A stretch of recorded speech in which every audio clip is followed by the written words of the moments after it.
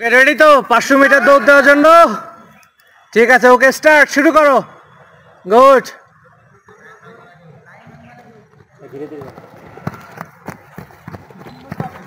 পাঁচশো মিটার দৌড় শুরু হয়ে গেছে। পাঁচশো মিটার দৌড়ের অনুশীলন করছে আমাদের সোজা ট্রেনিং একাডেমির শিক্ষার্থীরা। দৌড় সব ব্যায়ামের মহা ঔষধ। বেশি বেশি করে দৌড়াতে হবে, কারণ দৌড়ের অনুশীলনের অভ্যাস যদি না থাকে, তাহলে পুলিশে দুশো মিটারে ভালো করা যাবে না। সেনাবাহিনীতে পাঁচশো মিটার, ছয়শো মিটার, সাতশো মিটার দৌড় হয়ে থাকে সৈনিক পদে। অফিসার পদে প্রার্থীদের এক হাজার মিটার দৌড় হয়ে থাকে। এছাড়াও পুলিশের ষোলোশো মিটার দৌড় হয়ে থাকে।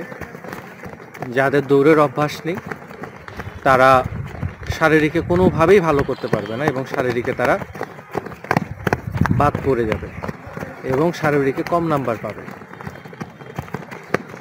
যারা পুলিশ কনস্টেবল হতে চাও, তাদের জন্য দৌড় খুবই গুরুত্বপূর্ণ। কারণ প্রথমেই দুশো মিটার রয়েছে আঠাশ সেকেন্ড সময়। এরপরে পুরুষ প্রার্থীদের জন্য আঠাশ সেকেন্ড সময়। ষোলোশো মিটার দৌড়ের জন্য পুরুষ প্রার্থীদের সাড়ে ছয় মিনিট সময় রয়েছে কনস্টেবল পদে। এছাড়াও সেনাবাহিনীতে যখন যাবা পাঁচশো মিটার দৌড় দেড় মিনিটে হয়ে থাকে। গুড হুমায়ুন কবে দম আছে তো? গুড দৌড় দাও। সাবাস। গুড। Very good. আর কত আছে? কয় পাক? নুর আলম? কয় পাক। গুড। সাবাস শেষ করে ফেলো শেষ করে ফেলো। দম ছাড়িও না শেষ করে ফেলো পাঁচশো মিটার শেষ করে ফেলো। গুড। দম ছাড়িও না। গুড। সাবাস। জীবন আর কয় পাক আছে? গুড।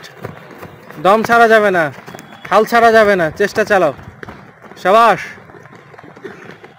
গুড। এইভাবে আমাদের সোজা ট্রেনিং একাডেমির শিক্ষার্থীরা মূলত যারা কোচিং করতে আসে তারা এইভাবে শারীরিক ইভেন্টগুলোর জন্য প্রস্তুতি নিয়ে থাকে।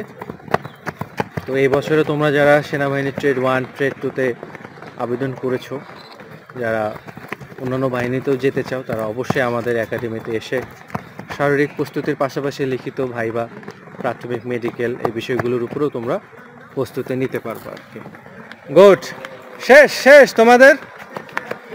গুড এটা শেষ রাউন্ড না? স্যার। গুড সাবাস থ্যাংক ইউ ভেরি মাচ